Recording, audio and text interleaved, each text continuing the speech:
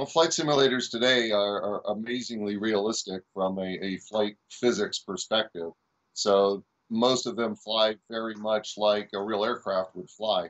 The, the big difference is once you push those throttles up, uh, first off, that's a physical move that's different than, than clicking a mouse. But also, you feel the pressure on your body of that acceleration. And, and oftentimes, people who've only flown simulators, their first inclination when they go to take off is they pull too far back on the stick and it starts to stall the aircraft. And a lot of instructors are, are ready for that and they already got their hand on the stick to push a little forward to make sure that they don't do that.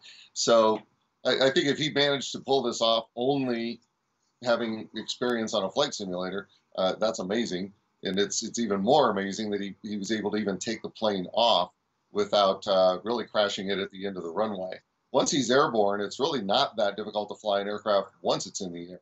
He pulled off some pretty incredible maneuvers, but if he's played enough flight simulator, he probably understood some of the things he was supposed to do with controls to be able to do that. Uh, that said, I, I really don't think we're going to have a whole lot of people saying, hey, I learned on Flight Simulator, so I'm going to go out and steal a plane. Um, a lot of them will try it, but I don't think they're going to be as lucky as this guy was.